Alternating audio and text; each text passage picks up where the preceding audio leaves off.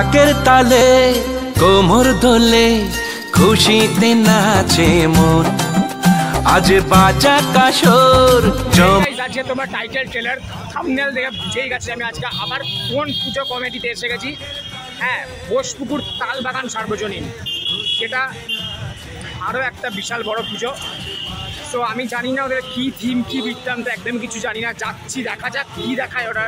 মানে কী চমক রেখেছেন এবার তোমাদের জন্য, আমাদের জন্য, সবার জন্য? আমি, তুমি যাই হোক। আর এই যে ভিডিওগুলো আমি করছি তোমাদের যদি ভালো লাগে, তাহলে আর কোনো যদি প্যান্ডেল তোমার রেকমেন্ড করতে চাও তো আমাকে রেকমেন্ড করতে পারো। অ্যান্ড ভিডিওটা যদি ভালো লাগে, তাহলে একটু লাইক করো শেয়ার করো সাবস্ক্রাইব করো, অন্যদেরকেও দেখার সুযোগ করে দাও। এবং চলো দেখা যাক ওখানে গিয়ে কীরকম কী কথা হয়, কী দেখানো যায়, দেখাতে পারি কি না আদৌ। কারণ অনেক পুজো মণ্ডপ কিন্তু দেখাতে দেয় না ওদের এই আগে মানে থিমটা আগে দেখাতে দেয় না টিমটা তো দেখা যাক এখানে কি হয়।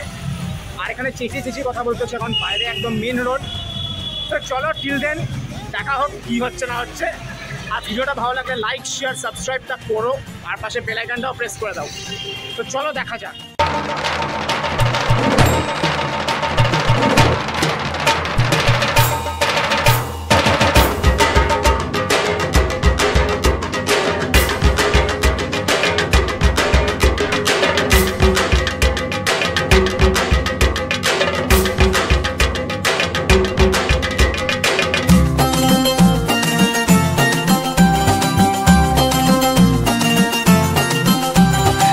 ঢাকের তালে, কোমর দোলে, খুশি। এখন আমি আছি বোসপুকুর তালবাগান। এই আরেকটা প্যান্ডেল, যেটা সাউথ কলকাতার আরও একটা one of the most famous Durgapujo committee যারা প্রত্যেক বছর তাদের নতুন নতুন অভাবনীয় চিন্তাধারা দিয়ে মানুষকে মানে কি বলব, হতচকিত করে দেয়। প্রচুর পরিমাণে ভিড় হয়। আগে কিন্তু এই পুজোটা মেন রাস্তায় হতো, যেহেতু এত জ্যাম হয়ে যেত বলে এখন এই পার্কটা করে দিয়েছে। আর আমার ঠিক একদম পেছনে পুজোটা হচ্ছে এখন, আর একটু ভিতরের দিকে হয় পুজোটা। এটা হচ্ছে তার পেছনে গেট আর বাইরে সেই একদম ভিড় হয়ে যায়। মানে বোসপুর শীতলা মন্দিরের ওখান থেকে টানা ভিড়টা চলে যায় গড়িয়াহাট অব্দি তো এটাও যদি লোকেশন তোমাদের ভালো করে বোঝাতে হয়, সেটা হচ্ছে বোঝানোর কিছু নেই বাট যারা বাইরে থেকে দেখছ, তাদের জন্য একটাই আমার জিনিস বলার। তো হচ্ছে এটা ওই রুবি টু গড়িয়াহাট যে ইএম বাইপাস কানেক্টার বোসপুকুর শিলা মন্দিরের ঠিক পরের স্টপেজেই এই পুজোটা বোসপুকুর তালবাগান সার্বজনীন। আর এনাদের এবছরের থিম আমি যে দেখলাম যে হাল।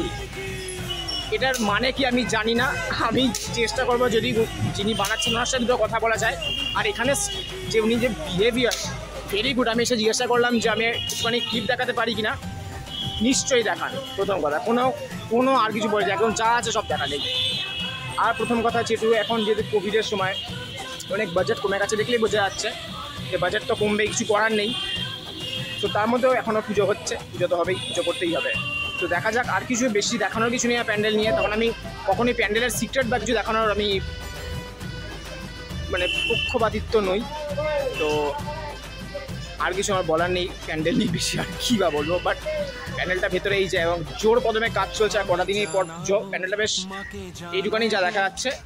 তো দেখি দাদার সাথে দুটো কথা বলা যায়, দুটো থিম নিয়ে যে কী বানাচ্ছেন এই নিয়ে যা বলেন, দেখা যাক। এই যে আমার সাথে দাদা রয়েছেন কিন্তু পুজো কমিটির লোক ওনারই থিম কি? আপনি তো চিন্তাধারা এটা তো আমি ওনাকে জিজ্ঞাসা করব, দুটো কথা যে কী থিম আর কী চমক এবার বোসপুকুর তালবাগান দিতে চলেছে। দাদা, নমস্কার। আমি পুজো কমিটি না আমি এখানে কাজটা করছি হচ্ছে বসপুর সর্বজনীন, তালবাগান কাজটা করছি। এদের বিষয়বস্তু হচ্ছে হাল। মানে আমরা কোথাও বলছি ধরো হাল, শক্ত হাল। মানে হাল বলতে আমরা দুটো কথা বুঝি। এক হচ্ছে সাময়িক অবস্থাটাকে হাল বলি মানে আমার হাল অবস্থা। আর একটা হচ্ছে কৃষকরা যে শস্য ফলায় তার যে লাঙলের লম্বা কাঠের হাতলটাকে বলে হাল। এটা হচ্ছে হাল। মানে আমরা কোথাও কৃষকের আন্দোলনটাকে নিয়ে কাজ করছি। স্বাধীনতার পরবর্তীকালে আমরা কৃষকদের এতদিন ধরে সুদীর্ঘ ভাবে যে আন্দোলনটা দিল্লির রাজপথে হচ্ছে সেটা আমরা দেখি। বেশ অভাবনীয় কিন্তু জিনিসটা বেশ ভালো। এই বিষয়টাকে আমরা কাজটা করি এটাতে এই বিষয়টাই আমরা প্যান্ডেলের চারিপাশে দেখব পুজোর হ্যাঁ। ছটা দিন বা পাঁচটা দিন। হ্যাঁ এবং এখানে হচ্ছে আপনার মা দুর্গা পূজিত হবে দেবী শাকম্বরী রূপে যিনি শস্যের দেবী শাকসবজির দেবী। হ্যাঁ সেখানে কৃষকদের আন্দোলনটাকেই তুলে ধরার একটা চেষ্টা করা হচ্ছে। আর একটা জিনিস বলি, পুরো মণ্ডপটা মানে কাজটা যেটা করা হচ্ছে, সেটা হচ্ছে কৃষকরা যে সমস্ত সামগ্রী দিয়ে তারা কাজ করে, যেমন কোদাল, কাস্তে, লাঙল, ট্রাক্টর, এগুলোই থাকছে পূজা মণ্ডপের বিষয়বস্তু হিসাবে। এই সমস্ত মেটেরিয়ালসগুলো দিয়ে আমি বিষয়টাকে ধরার চেষ্টা করছি যে ধরো হাল মানে শহরের লোকেদের কাছে এটা সত্যি চমক, কারণ আমরা বহু মানুষ গ্রামে যেতে পারি না, গ্রামের জীবনযাপন জানি না। ওনারা কিন্তু এইটাই তুলে ধরেছেন এবার মা দুর্গার থিম হিসাবে। এবং মা দুর্গার রূপটা তুমি বলেই দিলেন যে থ্যাংক ইউ দাদা এত কিছু বলার জন্য আমার কিন্তু খুব সুন্দর লাগল আপনাদের এই অভামরীয় প্রকল্পটা। দারুণ। আর প্যান্ডেল এখন আপাতত এখন কিছু হয়নি। হয়নি ভালো হয়েছে। হয়ে গেলে এখন কেউ দেখাবো? হয়ে গেলে তো পুজোর সময় আসো এসে এখানে ভিড় করে দেখো। বাট সেফটি প্রিকশন নিয়ে। আচ্ছা সেফটিরও তো কিছু ব্যাপার নিশ্চয়ই আছে? আছে তবে আমাদের বছর ঠাকুর দেখতে যাওয়ার জন্য লোককে ঢোকানো হবে না আচ্ছা ওর জন্য একদম প্যান্ডেল এই যে গেট এই যে সা- পেছনে গেট রয়েছে। আর এই মায়ের মূর্তি কিন্তু ঠিক এই জায়গাটাতেই থাকবে। তো তোমরা গেট থেকে সোজাসুজি দেখতে হবে আর প্যান্ডেলটাকে ভিড় অ্যাভয়েড করার জন্য। এটা কিন্তু খুব ভালো। অনেক প্যান্ডেলও এখনও ভিড় ধরে রাখার চিন্তা করে বাট তোমরা যে করেননি এটা আমার সত্যি খুব ভালো লাগল। মানে শুধু ভিড় করিয়ে কি হবে? মানুষের সচেতনতাটাকে তো রাখতে হবে।